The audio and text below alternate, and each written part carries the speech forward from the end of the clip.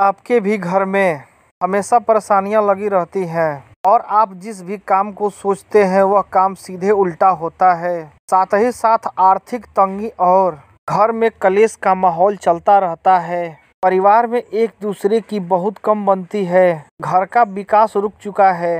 बच्चों का पढ़ाई में मन नहीं लगता और ना ही उनके अंदर किसी प्रकार का ऊर्जा होता है। आगे कुछ अच्छा कर दिखाने का।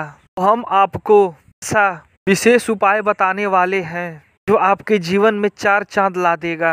यदि आप इसके बारे में पूर्ण जानना चाहते हैं तो वीडियो में अंत तक बने रहें।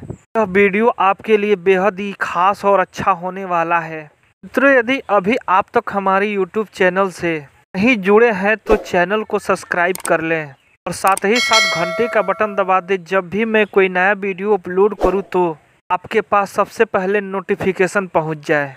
आपके घर में अशांति का माहौल और कलेश साथ ही साथ पैसों की दरिद्रता बच्चों का मन पढ़ने में नहीं लगता है। इसका विशेष कारण यह है कि आपके घर में किसी विशेष आत्मा का प्रभाव है और आपको अपने घर को किसी अच्छे तांत्रिक से दिखाना है।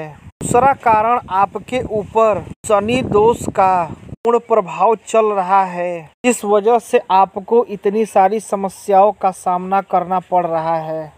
इस समस्या से मुक्ति पाने के लिए आपको क्या करना है कि शनिवार के दिन भगवान शनि देव का स्मरण करना है और उन्हें जल चढ़ाना है और शनि देव से यह अर्जी लगाना है कि हे शनि देव हमारे जीवन में जो भी कष्ट और परेशानियाँ चल रही हैं, आप हमारे सारे परेशानियों को जल्द ही दूर करें। आपको जल्द ही कुछ ही दिनों में विशेष प्रभाव देखने को मिलेगा और आपके घर में सुख, शांति, पैसा और ज्ञान का भंडार लग जाएगा और आपकी व्यवस्था आपके मन के हिसाब से चलना शुरू हो जाएगा।